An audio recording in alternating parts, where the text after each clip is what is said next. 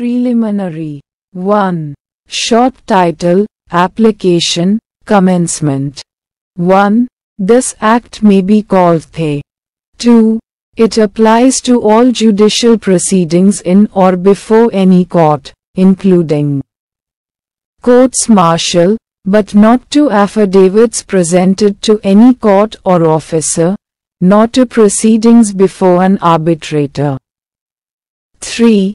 It shall come into force on such date as the central government may, by notification in the official gazette, appoint. 2. Definitions 1. In this adhiniyam, unless the context otherwise requires. A. Court includes all judges and magistrates, and all persons, except arbitrators, legally authorized to take evidence. B.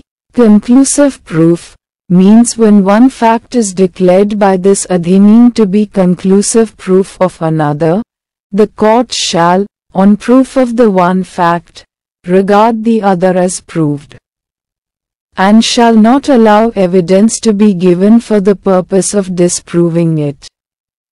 C. Disproved, in relation to a fact, means when, after considering the matters before it, the court either believes that it does not exist or considers its non-existence so probable that a prudent man ought, under the circumstances of the particular case, to act upon the supposition that it does not exist.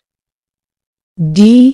Document means any matter expressed or described or otherwise recorded upon any substance by means of letters, figures or marks or any other means or by more than one of those means. Intended to be used, or which may be used, for the purpose of recording that matter and includes electronic and digital records. Illustrations 1.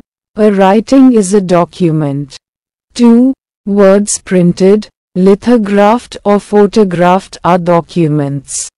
3. A map or plan is a document. 4.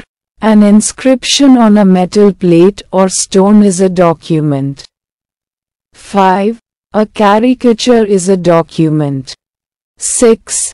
An electronic record on emails, server logs, documents on computers, laptop or smartphone, messages, websites, locational evidence and voicemail messages stored on digital devices are 7. Evidence, means and includes I. All statements including statements given electronically which the court permits or requires to be made before it by witnesses in relation to matters of fact under inquiry and such statements are called oral evidence. E. All documents including electronic or digital records produced for the inspection of the court and such documents are called documentary evidence. 8. Fact, means and includes I. Anything, state of things, or relation of things, capable of being perceived by the senses. E. Any mental condition of which any person is conscious. Illustrations. I. That there are certain objects arranged in a certain order in a certain place, is a fact. E. That a person heard or saw something, is a fact. E. That a person said certain words, is a fact. IV. That a person holds a certain opinion, has a certain intention, acts in good faith, or fraudulently, or uses a particular word in a particular sense or is or was at a specified time conscious of a particular sensation, is a fact.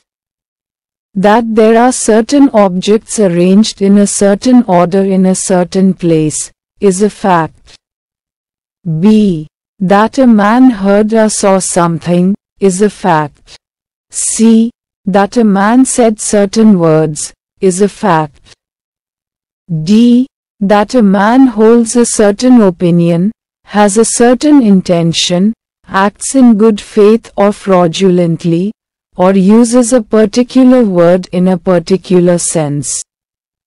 Or is or was at a specified time conscious of a particular sensation, is a fact. A. That a man has a certain reputation, is a fact. G.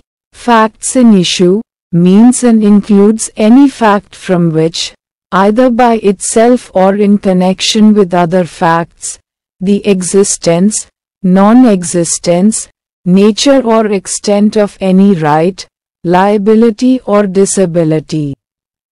Asserted or denied in any suit or proceeding, necessarily follows. Explanation Whenever, under the provisions of the law for the time being in force relating to civil procedure, any court records an issue of fact. The fact to be asserted or denied in the answer to such issue is a fact in issue. Illustrations A is accused of the murder of B at his trial. The following facts may be in issue. I. That A caused B's death. E. That A intended to cause B's death. E. That A had received grave and sudden provocation from B. IV, that A, at the time of doing the act which caused B's death, was, by reason of unsoundness of mind, incapable of knowing its nature.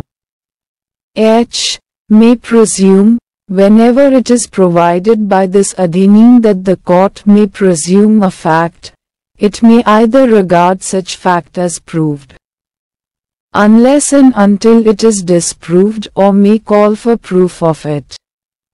I. Not proved, a fact is said to be not proved when it is neither proved nor disproved. J.